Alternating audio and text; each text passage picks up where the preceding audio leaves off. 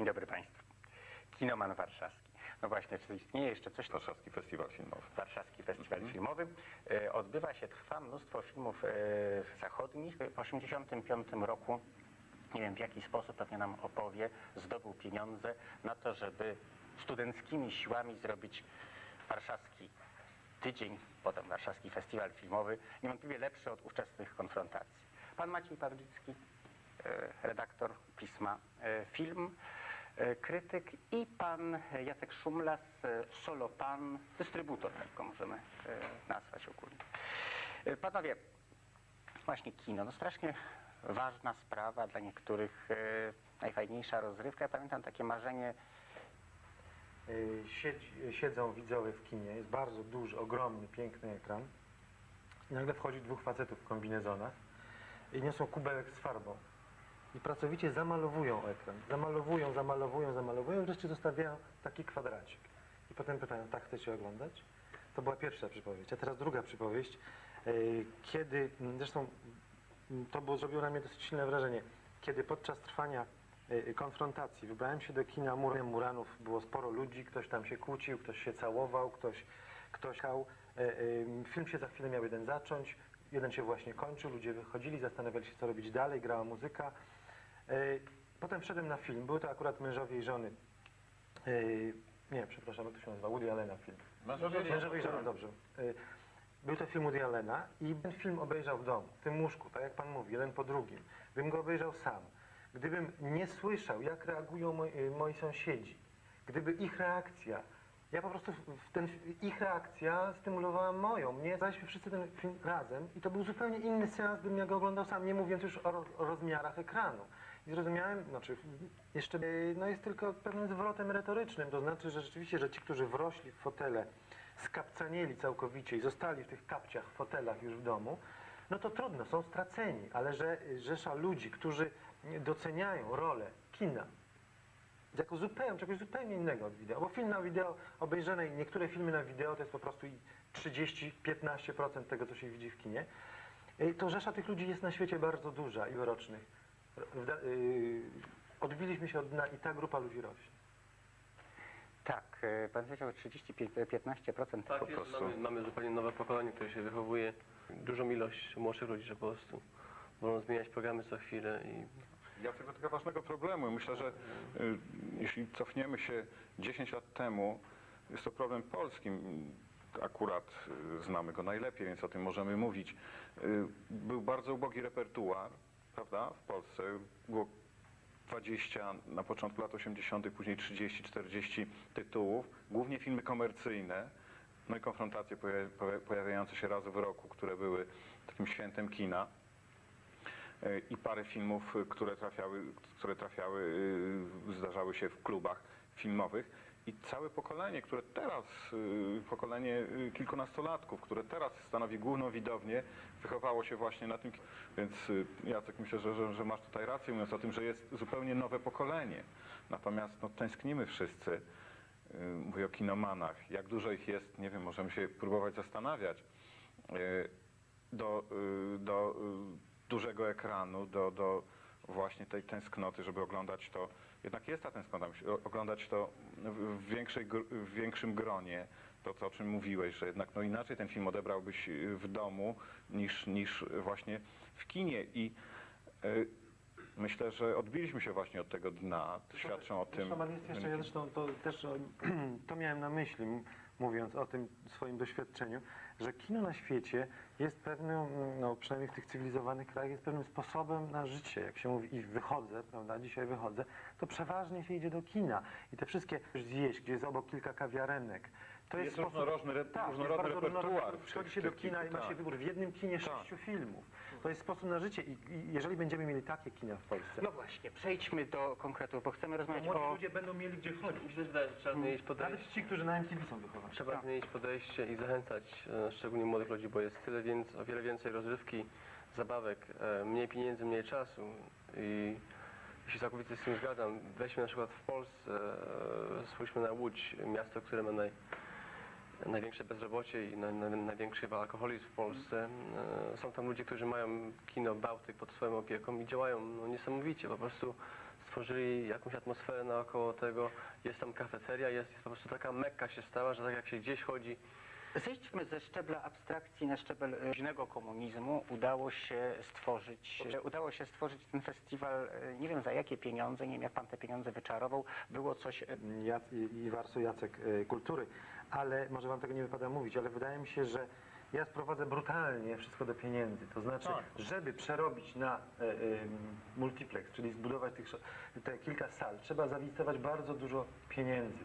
A kto zainwestuje bardzo dużo pieniędzy, jeżeli ma krótką umowę i nie wie, co będzie za rok? Może zmieni się urzędnik w ministerstwie i mu tę umowę rozwiąże. Jeżeli by te umowy podpisano z ludźmi, którzy pokazali w przeszłości, że jakby swój, swój, swoje poświęcenie dla kina, dla tworzenia tej atmosfery wokół kina, jeżeli można by z nimi podpisać długotrwałe umowy, to oni wtedy dostaną w banku kredyty, w sensownym banku dostaną kredyty, mogą zainwestować i mogą to budować. Natomiast jeżeli wszyscy są niepewni jutra, to nikt nie zainwestuje, no przecież to jest oczywiste. No jeżeli on te pieniądze może natychmiast stracić, to on tych pieniędzy nie zainwestuje. Sprawy własnościowe są jeszcze niewyjaśnione, kontynuując to, o czym mówisz. W tej chwili tak, szczególnie w Warszawie, kiedy te grunty są gruntami państw Max. Ona zarządza w imieniu Skarbu Państwa, bo te kina są y, własnością Skarbu Państwa. Do niektórych kin rości sobie prawo y, Urząd Miasta na przykład. Y, Mamy bardzo taką dziwną sytuację w Muranowie, jeśli o konkretach mówimy. Zostały duże pieniądze włożone w remont tego kina i Przez państwowe, przez Komitet Kinematografii i przez fundację również, co mówię z dużym naciskiem, bo parę miliardów złotych. Nie możemy podłączyć tam gazu, gazu do klimatyzacji, dlatego że właśnie te sprawy nie są jasne do końca. Urząd Miasta nie chce wyrazić zgody, ponieważ twierdzi, że właśnie te sprawy są niewyjaśnione i rości sobie również prawo między innymi do tego obiektu. Ale wrócę też na chwilę. Jeśli Pan pytał o, o to, czy y, jakie instytucje i czy to jest przemysł. Ja myślę, że po pierwsze to są pieniądze i rzeczywiście trzeba o tym mówić. I, y, i produkcja, i dystrybucja. Y, dystrybucję w tej chwili i wideo, i kinową. Jeśli chodzi o instytucje, tak, one są, są potrzebne, ale one mogą zająć się tym marginesem, czyli kulturą filmową, tym kinem ambitniejszym, organizacją przeglądów, y, festiwali, tak jak to robi Filmoteka Narodowa, czy jak to robi e, Fundacja, y, Ministerstwo Kultury Sztuki, Komitet Kinematografii wspiera sieć kin studyjnych. Natomiast dystrybutorzy również i, szczególnie widać to teraz, w tym roku, już starają się kupować dobre, y, ciekawe, czasami nawet ryzykując y, bardziej eksperymentalne kino i tych filmów jest Więc dużo. tak. Ten repertuar już staje się y, bardziej różnorodny, co też jest no, zjawiskiem takim na plus. Bardzo. Usłyszałem ton pewnego niezadowolenia pana e, w sytuacji niepewnej, nikt nie zajmie się ten kapitalizm, którego podobno nie chcemy. To właśnie polega na tym, że w niepewnej sytuacji e, trzeba sobie jakoś radzić. Mówmy konkretnie.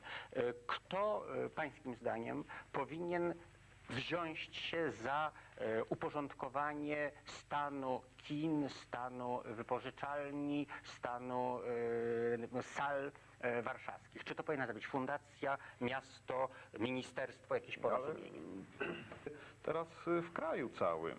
Znaczy przekształcenia, prywatyzacja. To się wiąże z tym. Zmiana przepisów to wymaga zmian przepisów. To nie na szczeblu y, urzędów miast, czy nawet poszczególnych ministrów. To wręcz y, ustaw sejmowych, które by to bardzo jednoznacznie regulowały. Y, I na takie ustawy czekamy. Cały proces prywatyzacji jest w tej chwili przygotowywany.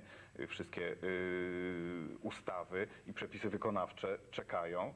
I to wydaje się wydaje się y, być w trakcie, natomiast no, dużą rolę, y, myślę, powinny odgrywać również miasta.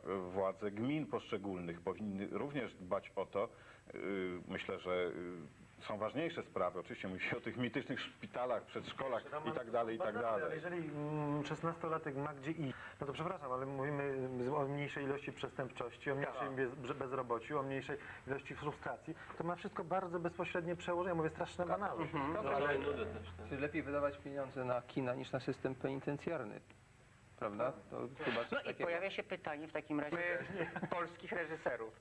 E, Pytanie właśnie, jak z... e, My, y, za mało pieniędzy i nie jesteśmy w stanie. Jakości, tak, tak. Szczerze mówiąc, mi się wydaje, że bardzo dużo filmów dostaje szansę. Ja w ogóle myślę, że nieporozumienie, że niektóre filmy powstają.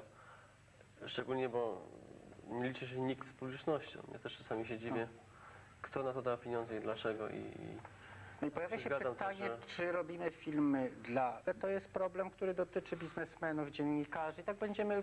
Wielu ludzi zrobi wam takie wyznanie. Teraz przed ostatki Mohikanów na, na ekrany, jakiś inny film, go chętnie nie obejrzał. Od razu, na kasecie.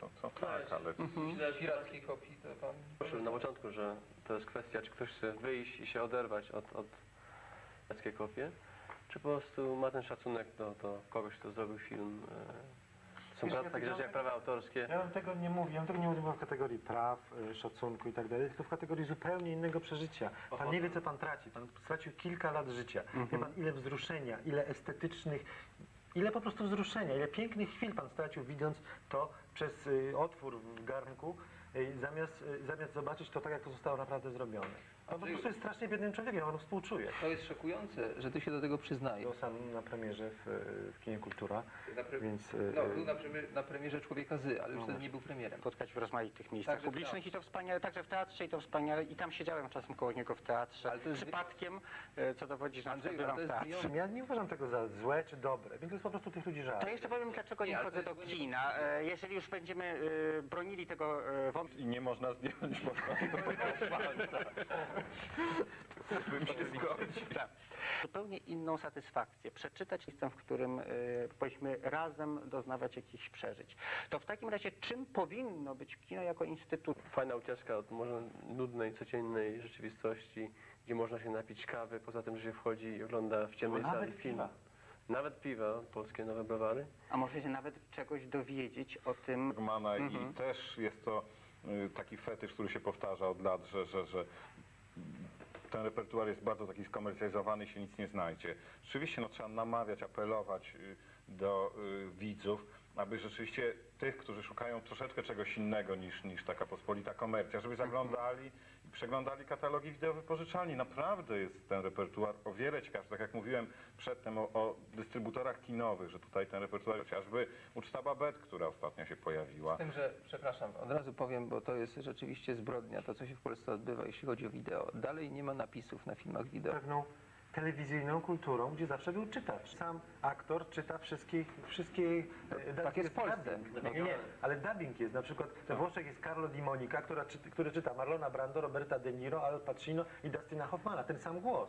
No, to jest dopiero rozumiem, ale zdaje się w Japonii jest taka technika, że jeszcze nie nawiązujemy do wzorów złych, tylko dobrych. I myślę, że można by eksperymentalnie próbować jednak wprowadzać napisy i patrzeć, które filmy... Zdarzają się, zdarzają. Niektóre filmy y, muzyczne No, o szczególnie ile wiem, o ile wiem z y, wiadomości są od hurtowników, film zna... Zatrzymują się i tak jak powiedział Roman, że jest po prostu, nie starcza funduszów finansowych. Niektórzy, na przykład Jarmusch, absolutnie nie pozwalają na to, aby w telewizji czy na wideo, ja mam to w kontrakcie zawarte, filmy były z tym lektorem Bo to pokazywane. zabija film wtedy. strasznie Muszą dużo, być- muszą być strasznie napisy. dużo mówimy o e, formie. Są filmy e, ewidentnie bardzo rozrywkowe, są poważne filmy, są coś pomiędzy, zupełnie jak z książkami. Są Mhm. książki, które się pół przeczytane zostawia na plaży i się odchodzi, bo wiadomo, że to Co przyniesie e, ten tydzień? którym jest bardzo trudno wejść na ekrany, gdzie, Mhm. gdzie jest tak duża liczba komercyjnych filmów, które mają większe budżety na, na publicystykę i reklamę. Więc mam nadzieję, że, że możemy zobaczyć światową kinematografię, intrygującą kinematografię w tydzień, tak jak to zawsze było od lat, bez tego, że, że wielkie komercyjne kina e, czy filmy będą nam w tym przeszkadzać. Ja myślę, że może ja nie wiem, może ja to mówię co roku, może mam jakiś e, spaczony obraz, ale wydaje mi się, że tak dobrego zestawu dawno nie było. To znaczy, tak jak udało się Z, ona bardzo, bardzo mocna. I to nie są tylko filmy no, artystyczne, to znaczy, prawda, to są dobre, ciekawe filmy, które nie miały, powiedzmy, w- e, ogromnej, gigantycznej publiczności, takie jak Jurassic Park, czy jakiś, jakiś inny e, super hit, ale są to filmy, które miały swoją bardzo dużą publiczność. Na przykład Crying Game to jest film, który y, o budżecie bodajże 3 czy 5 milionów dolarów, który zarobił chyba 60 milionów dolarów w Ameryce. Stanach. W samych Stanach. Więc to są filmy, które przez nie, troszeczkę bardziej wymagającą, taką szukającą czegoś ciekawszego w kinie publiczność zostały w ogromnym, ogromnym obszarze świata zaakceptowane. I one są jakby tu wskazane palcem i zebrane do kupy. I to jest ważne, co już mówiłem tutaj, ale jeszcze raz powtórzę. Y, Sporo z tych filmów, nie wiem, y, jedna czwarta, może nawet troszkę więcej, trafi później do kin. Te filmy są już kupione przez polskich dystrybutorów, to jest bardzo ważne. trafi do kin. To znaczy znowu jakby taki... e, spo- Dadzą pół roku, żeby te filmy Właśnie, się pokazały panie- w kinach. No. Panie Andrzeju, jest tak na całym świecie, że filmy najpierw trafiają do kin, mają swój tak zwany A podobno w. Japonii jest na odwrót, że najpierw trafiają na wideo, a potem niektóre są robione dopiero dla kin. No ale Japonia to jest, tam są takie rzeczy. Ja nie znam globu i to jest do góry nogami, także Bo oni są do góry. To jest bardzo fajnie, że wchodzą e, filmy nowe na ekrany, filmy komercyjne, filmy niekomercyjne, filmy bardzo artystyczne i bardzo szybko.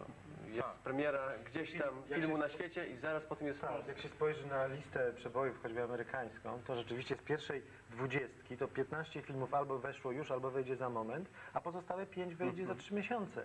I to jest jakby jesteśmy już dokładnie w środku, a festiwal e, jest takim wspaniałym przewodnikiem i filmy zdaniem paru osób najciekawsze. I to Nie tylko festiwal, no są, Filmoteka organizuje wspaniałe przeglądy, prawda?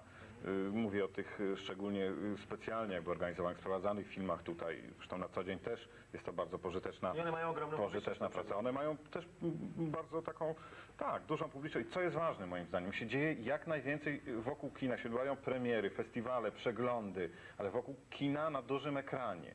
Co jakby ożywia sukces Parku Jurajskiego jest, jest sukcesem kina w ogóle. Przyszli ludzie, którzy nie przyszli, nie byli kilka lat w kinie. Widzę to, bo jestem w Muranowie, gdzie ten Tak, film jest proszę wyświetlany. Państwa. A więc e, po co festiwal? No po naszego studia. E, A Państwa zapraszam oczywiście do kina.